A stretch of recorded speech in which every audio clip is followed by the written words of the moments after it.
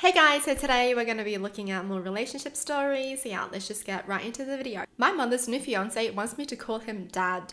He's 24. How do I navigate this? So this person is currently 35 and the new fiance of his mum is 24. Oh hell no. Why would you be calling someone younger than you by like 11 years dad? I'm a 35 year old man, and for some backstory, my dad died when I was 19, leaving my mum with me and my two siblings. I'm the oldest. It took some time, but eventually my mum started dating again. We don't live together, but our houses are back onto each other and have a gate, so it's pretty common for her to offer to do my laundry or me to just go over for dinner or look after our dog, that kind of stuff. Plus, me and my siblings go over there for dinner every other Friday night or so.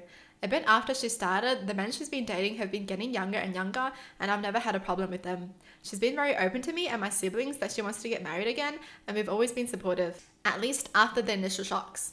The latest guy is by far the most serious, and they've been dating since around last June. He proposed at the start of autumn, and they want to get married next summer.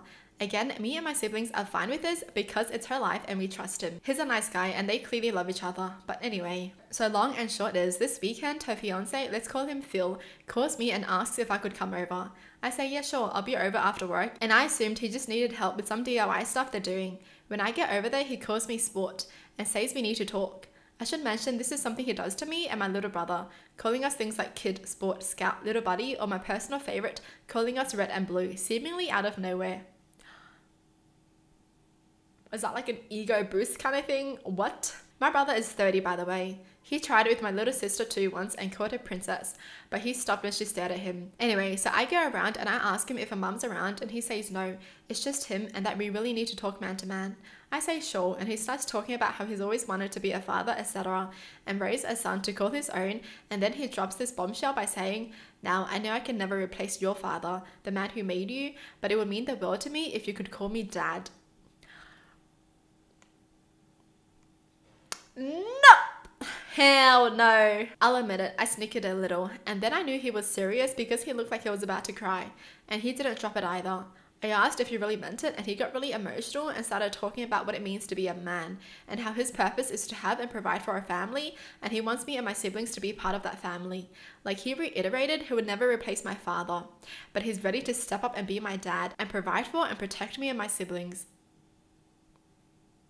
what's there to protect? These guys are not even kids anymore. They're literally older than him by like 10 plus years. Provide? These people have their own jobs.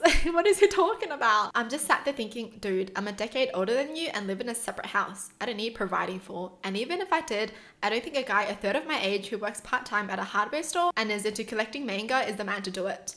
No offense if you're into that. I was in shock, so just said okay, and he gets emotional again, but in a happy way, talking about how he wants to go camping or go to a baseball game. Well, I just ended up by saying this has gotten a bit too weird, and I was going home. He got very upset and I left, and called my brother, and he agreed it sounds weird as F. Later, my mom called me, and she wasn't disappointed, but admitted it's made him very upset and depressed. I told her that if he's embarrassed, he doesn't need to be. I get he's excited about the marriage and we can just laugh this off as a funny story. She then said that wasn't what he was upset about. He's upset about the fact that he poured his heart out and I rejected him. She said, yeah, it's a bit cookie, but this is how he proves to himself he's a man. And I guess I was a bit angry and said something like, first off, it's not my job to certify what's between his legs. And second, this doesn't prove he's a man. It just proves he's a nut job. I apologized immediately, but she said she didn't want to hear it and hung up. She called back 10 minutes later and we apologized and she begged me to just go along with it until he has some kids to call his own.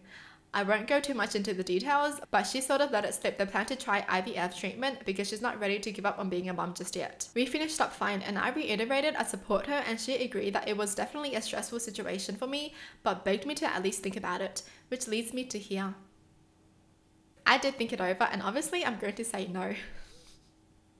So let's do the math here when this person's dad died when they were 19, that means the fiance of the mom was only eight years old.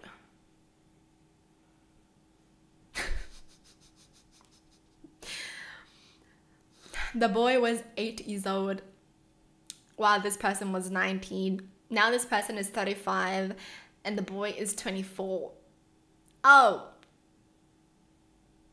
Well, I don't, you know, I just don't get it. I mean, like, why do you need someone who's already 35 to be calling you dad. You shouldn't even be caring about that stuff anymore. If anything, they can have their own kids and then, yeah, their own kids can call them dad. I'm confused. I'm so confused. This is like definitely weird. It's not even normal. Like, I'd understand it if they were younger than him, but why would you want someone who's 11 years older than you to call you dad? like, it doesn't click in his mind that it's weird or something. It doesn't. I'm confused. I just know. I just know if I was in this situation, I wouldn't have been able to like hold it together as well as these guys did. Like, yeah. okay. Okay. Well, that's it for the video. Hope you guys enjoyed. Tell me in the comments down below what your thoughts are. And as always, thanks for watching. Hope you guys liked it. And I'll see you guys next time. Bye.